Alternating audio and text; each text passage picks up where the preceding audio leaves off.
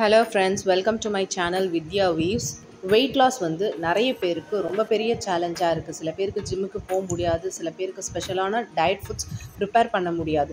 அந்த மாதிரியான ஆட்களாக இருந்தால் இந்த வீடியோ உங்களுக்கு தான். இந்த மெனுவை டயட் வெயிட் லாஸில் இருக்க ரெண்டு பேருமே ஃபாலோ பண்ணிக்கலாம். இன்றைக்கான மெனு பார்த்துக்கலாம் வாங்க. நம்மளோட டயட்டில் ஒரு ஒரு வேலைக்குமே நம்ம தட்டில் fifty percent fruits and vegetable twenty five percent proteins and twenty five percent carbohydrates டெஃபினட்டாக எடுத்துக்கணும். மார்னிங் டீ காஃபி பர்சனாக இருக்கிறவங்க half cup of coffee or tea without sugar எடுத்துக்கோங்க. இல்லை நான் டீ காஃபி அவாய்ட் பண்ணணும்னு நினைக்கிறவங்களுக்கு இந்த ஜிஞ்சர் டீ ஹெல்ப் பண்ணும். இதை எப்படி செஞ்சேன்னா மூணு கப் அளவில் தண்ணி சேர்த்து ரெண்டு துண்டு இஞ்சியை நல்லா தட்டி சேர்த்துக்கிட்டேன். இதை ஸ்டவ்வில் மீடியம் ஃப்ளேமில் வச்சு அஞ்சு நிமிஷம் போல் நல்லா கொதிக்க விட்டு இறக்கிக்கிட்டேன். ஒரு அரை லெமனை பிழிஞ்சு சாறு எடுத்துக்கிட்டேன்.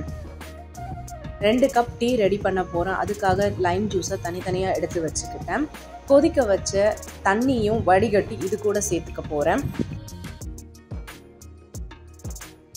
நான் ஏற்கனவே ஒன் ஹவர் முன்னாடியே சியா சீட்ஸ் இந்த மாதிரி தண்ணியில் ஊற வச்சுக்கிட்டேன். ஸோ ஒன்றுலேருந்து ரெண்டு டேபிள் ஸ்பூன் அளவுக்கு சியா சீட்ஸையும் ஆட் பண்ணி குடிச்சிக்க போகிறேன் அவ்வளோதான் சூப்பரான ஜிஞ்சர் லெமன் டீ மார்னிங் ரெஃப்ரெஷிங்காக ரெடி ஆகிடுச்சு நான் நேற்றே பிரேக்ஃபாஸ்ட்டுக்காக சிறுதானிய இட்லி தோசை மாவு ரெடி பண்ணிட்டேன். அது எப்படி பண்ணேன்னா அரை கப் இப்போ நான் சொல்கிற எல்லாமே அரை அரை கப் எடுத்துக்கோங்க. கைக்குத்தல் ப்ரௌன் ரைஸ் எடுத்திருக்கேன். வெள்ளைச்சோளம் அரை கப் வரகரிசி அரை கப் குதிரவாளி அரை கப் சாமை அரை கப் சிவப்பரிசி அரை கப் தினை அரை கப் கருப்பு கவுனி அரை கப் மாப்பிள சம்பா அரை கப் அரை கப் கோதுமை சம்பா ரவை முக்கா கப் உளுந்து ஒரு ஒரு கைப்பிடி போல் வெந்தயம். ஸோ கம்ப்ளீட்டாக இது வந்து எல்லாம் சேர்ந்தது ஒரு கப்பாக இருக்கும். அதையும் சேர்த்துக்கோங்க. இதை நாலுலேருந்து அஞ்சு வாட்டி நல்லா கழுவி அலசி ஃபுல் நைட்டு போல் ஊற வச்சுடுங்க. காலையில் இந்த மாதிரி ஊறி வந்திருக்கும். இதை மறுபடியும் ஒரு வாட்டி கழுவி எடுத்துக்கோங்க. இது கூடவே நான் ஒரு ஸ்பூன் அளவில் சிவப்பு அவல் சேர்த்துக்கிறேன். இப்போ இது எல்லாத்தையும் மிக்சி ஜார்லேயோ கிரைண்டர்லேயோ ஒரு இருபது நிமிஷம் போல் நீங்கள் அரைச்சி எடுத்தீங்கன்னா நல்ல ஒரு சூப்பரான கன்சிஸ்டன்சியில் மாவு ரெடி ஆகிடும் ரெடியான மாவை இதே மாதிரி ஒரு பாத்திரத்தில் சேர்த்துடுங்க. தேவையான அளவுக்கு உப்பு சேர்த்து நல்லா கலந்து விட்டு ஒரு நாலுலேருந்து அஞ்சு மணி நேரம் போல் வெளியே விட்டுடுங்க. கண்டிப்பாக இந்த வெயிலுக்கு டக்குன்னு புளிச்சு வந்துடும். இப்போ பார்த்தீங்கன்னா மாவு சூப்பராக புளிச்சு வந்துடுச்சு. இந்த மாவில் இட்லியோ தோசையோவே நம்ம செஞ்சுக்கலாம். இன்றைக்கி நான் செஞ்சது சிறுதானிய இட்லி தோசை கொஞ்சமாக சட்னி ப்ரோட்டீன்ஸ்க்கு ரெண்டு பாதாம் ஃப்ரூட்ஸ் அண்ட் வெஜிடபிள்ஸ்க்கு ஒரே ஒரு ஆரஞ்சு பழம் எடுத்திருக்கேன். இவ்வளோ தான் என்னோடய பிரேக்ஃபாஸ்ட் உங்களுக்கு இது பத்தலைன்னு நினச்சிங்கன்னா ரெண்டு தோசையாக எடுத்துக்கிட்டு இன்னமும் கொஞ்சம் ஃப்ரூட்ஸை இன்க்ரீஸ் பண்ணிக்கோங்க. மிட் மார்னிங் ஸ்நாக்குக்கு நான் ஏபிசி ஜூஸ் தான் ரெடி பண்ணி வச்சுருந்தேன். ஒரு ஆப்பிள் ஒரு கேரட் பாதி பீட்ரூட்டை நல்லா இந்த மாதிரி கிரேட் பண்ணி எடுத்து வச்சுருந்தேன். மிக்சி ஜாரில் இது எல்லாத்தையும் சேர்த்துக்க போகிறேன் இது எல்லாத்தையும் தேவையான அளவுக்கு லைட்டாக தண்ணி விட்டு அரைச்சி இந்த மாதிரி எடுத்துக்கோங்க.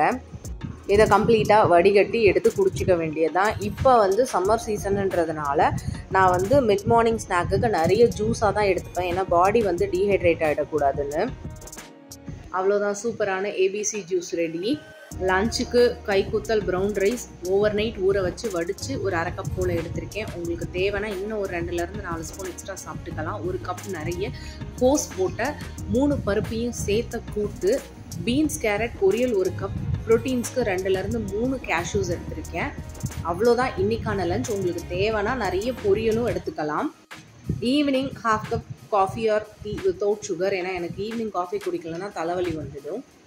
ஈவினிங் அதே மாவை வச்சு அதே தோசை தான். ஆனால் சிம்பிளாக ஒரே ஒரு தோசை எனக்கு போதுமானதாக இருந்து கொஞ்சமாக நான் பருப்பு சாம்பார் செஞ்சு எடுத்துக்கிட்டேன்.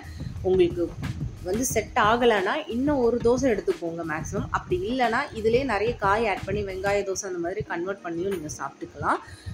ஆனால் லிமிட்டாக சாப்பிடுங்க. நைட் டின்னர் மட்டும். சாப்பிட்டு முடிச்சு ஒரு ஒன்றரை மணி நேரம் கழித்து ஓமம் கொதிக்க வச்ச தண்ணி எடுத்திருக்கேன். வாக்கிங்கெல்லாம் போயிட்டு வந்து நீங்கள் இந்த தண்ணி குடிச்சிட்டு படுத்துக்கலாம். இதோட இன்றைய மெனுவை நான் க்ளோஸ் பண்ணுறேன் என்னோட மற்ற வீடியோஸோட லிங்க் எல்லாமே டிஸ்கிரிப்ஷனில் இருக்கும். போய் பார்த்துக்கோங்க. ஐ பட்டன்லேயும் இருக்கும். நீங்கள் எனக்காக பண்ண வேண்டியதெல்லாம் நம்ம சேனலில் like comment share and subscribe பண்ணிடுங்க Facebook and Instagram page Vidya வியூஸையும் follow பண்ணிடுங்க. Thank you